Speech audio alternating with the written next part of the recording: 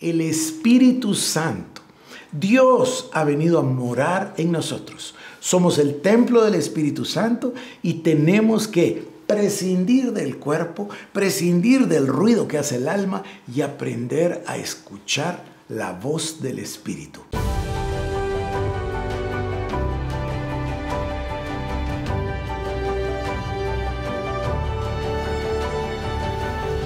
Gracia y paz de Dios. Bienvenidos. Estamos en este tema apasionante de ser guiados, o el concepto de ser guiados por el Espíritu de Dios. A ver, como introducción, las personas buscan guianza continuamente. Por eso existen todos esos programas de televisión, de radio, donde la gente busca información y busca básicamente liderazgo. Busca quien le guíe, quien le pueda indicar el camino. Bueno, las personas buscan guianza. Incluso los creyentes, es decir, cuando las personas se convierten y comienzan a visitar la iglesia, comienzan a ser parte de la iglesia, pronto, pronto buscan quien les guíe. Ahora, si no estamos nosotros claros de lo que dice la Biblia, vamos a caer en ciertos defectos que a mí me parecen muy comunes el día de hoy. Las personas piensan que los profetas sirven para guiar a la iglesia. Eso no es correcto.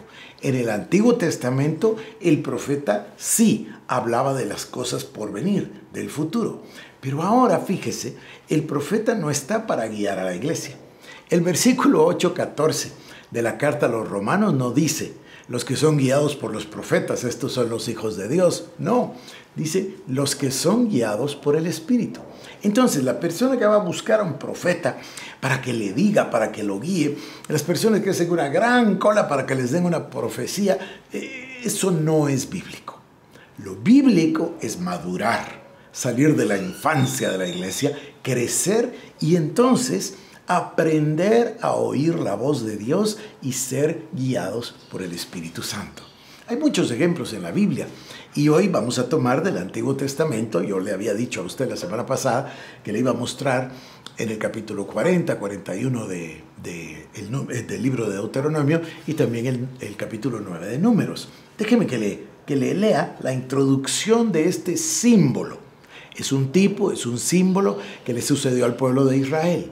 Y dice el Nuevo Testamento que estas cosas han quedado escritas para ser ejemplo para nosotros.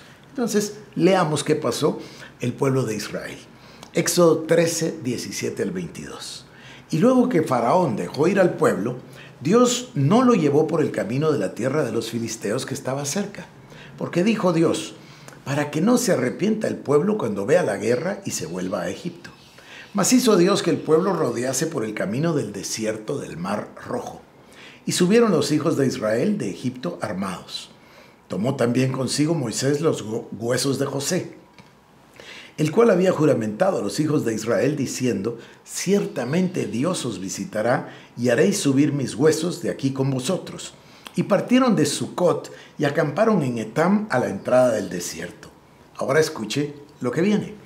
Y Jehová iba delante de ellos, de día en una columna de nube para guiarlos por el camino, y de noche en una columna de fuego para alumbrarlos.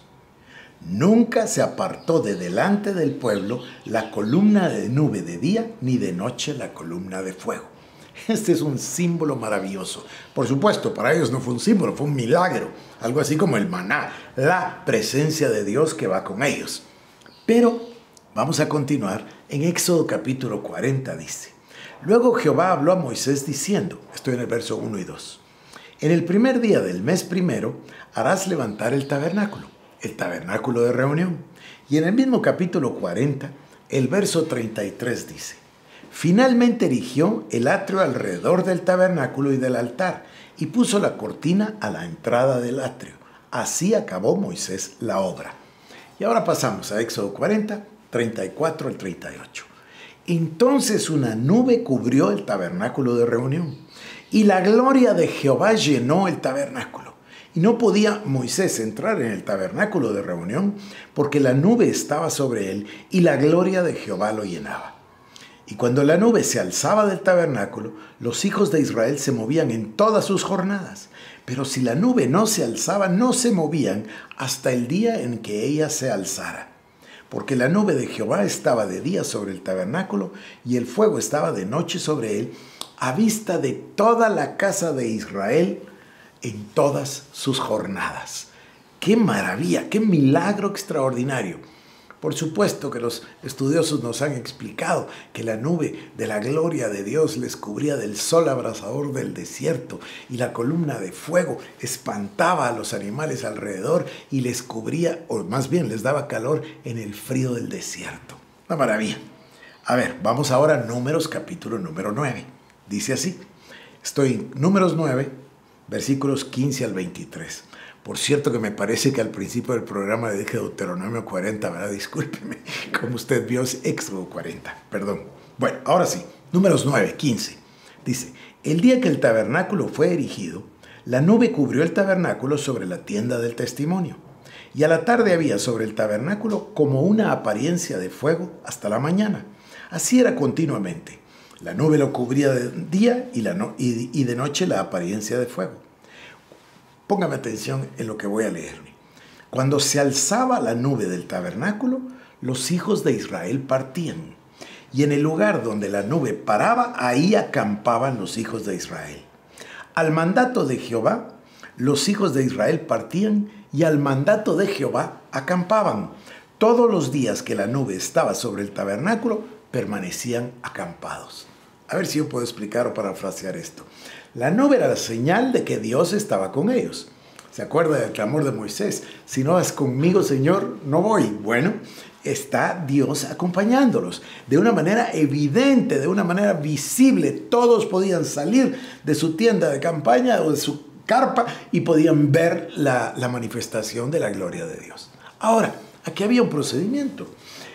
cuando la nube bajaba, entonces todos acampaban y llevaban a cabo su vida normal, nómada, pero su vida normal. Pero cuando la nube se levantaba, ellos entendían que Dios los estaba guiando. Esta es la palabra en realidad importante. Al mandato de Jehová los hijos de Israel partían y al mandato de Jehová acampaban. Es decir, la presencia de Dios por medio de la nube y la columna de fuego determinaban la voluntad de Dios. Y ellos lo seguían porque lo podían ver de una manera visible, notable, notoria. Entonces, seguían la nube o seguían la columna de fuego.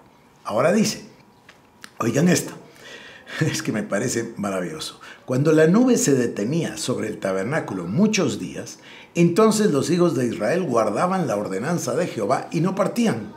Cuando la nube estaba sobre el tabernáculo pocos días, al mandato de Jehová acampaban y al mandato de Jehová partían. Y cuando la nube estaba sobre el tabernáculo pocos días, al mandato de Jehová acampaban y al mandato de Jehová partían. Y cuando la nube se detenía desde la tarde hasta la mañana, o cuando a la mañana la nube se levantaba, ellos partían. O si había estado un día y a la noche la nube se levantaba, entonces partían. O si dos días, o un mes, o un año, mientras la nube se detenía sobre el tabernáculo, permaneciendo sobre él, los hijos de Israel seguían acampados y no se movían. Mas cuando ella se alzaba, entonces partían. Al mandato de Jehová acampaban y al mandato de Jehová partían guardando la ordenanza de Jehová, como Jehová lo había dicho por medio de Moisés. A ver si puedo yo em, ayudar a comprender mejor este pasaje maravilloso. La nube se paraba sobre ellos. Podía ser un día, una noche, dos días, una semana, un mes o un año. Mientras la nube estuviese posada sobre el tabernáculo, ellos hacían su vida normal, diaria. Cuando la nube se levantaba, corrían inmediatamente a, empacar todas sus cosas porque sabían que debían moverse. En otras palabras, la nube era la demostración visible, palpable de la voluntad de Dios. Dios los guió y los llevó por el desierto. 40 años, pero nunca les dejó solos y les mostró la dirección que debían tomar a través de esto que para nosotros ahora es un símbolo. Ahora nosotros entendemos lo que pasa en nuestra vida. Debemos aprender a ser guiados por el Espíritu Santo, a ser guiados por el Espíritu de Dios que le habla a nuestro espíritu. Tenemos que aprender a ser guiados porque dice Romanos 8:14, estos son los que son guiados por el Espíritu, ellos son los hijos de Dios. Incluso dice el verso 16, el Espíritu Santo mismo le da testimonio a nuestro espíritu de que somos hijos de Dios. Esa es la comunión a la que me refiero. Eso, esa comunicación. El Espíritu Santo nos comunica que somos salvos a través de nuestro espíritu. Romanos 8:16. Es esa voz apacible o el pasaje tremendo que le leí en 1 Juan 5:10 que dice, el que cree en el Hijo de Dios tiene el testimonio en sí mismo. El que no cree a Dios le ha hecho mentiroso porque no ha creído en el testimonio que Dios ha dado acerca de su Hijo. Y no, ese testimonio no se refiere a predicar. Recuerde que el libro de Hechos dice que Dios no se dejó nunca sin testimonio a los hombres. Y ese es un pasaje maravilloso que un día debemos de estudiar. Pero en fin, regreso. Esta nube significa la presencia y la voluntad y la dirección de Dios. Hoy nosotros no tenemos nube, tenemos algo mucho mejor, queridos hermanos. El Espíritu Santo. Dios ha venido a morar en nosotros. Somos el templo del Espíritu Santo y tenemos que prescindir del cuerpo, prescindir del ruido que hace el alma y aprender a escuchar la voz del Espíritu. Esa voz se puede manifestar, como lo leímos en Colosenses 3, en la forma de paz. Es el testimonio del Espíritu, es el testimonio del hombre interno del corazón, hombre escondido del corazón, lo llama Pedro, en, en 1 Pedro 3. Entonces, nosotros, usted y yo, debemos de aprender a entrar en nuestro closet de oración, clamar a Dios y esperar a escuchar la voz del hombre interior. Y tenemos que aprender a escucharle con facilidad y además a obedecerle, porque si no, ¿de qué sirve que lo escuchemos si no le atendemos? Termino por hoy, pero mañana continuaré con este tema. Que Dios le bendiga. Jesús es Señor. Con el doctor Harold Caballeros. Te invitamos a que visites nuestras redes sociales como El Shaddai Guatemala